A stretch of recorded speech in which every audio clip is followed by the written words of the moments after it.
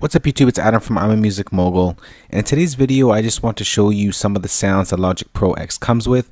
So I decided to make a quick beat for you guys just to hear what kind of uh, sounds and instruments that Logic Pro X comes bundled with. In this song you'll hear some new drum sounds uh, that comes with Logic 10 and uh, they sound pretty good. So take a listen to the song that I just created. Let me know what you think in the comment section below. If you have any questions on Logic X, also let me know in the comment section below.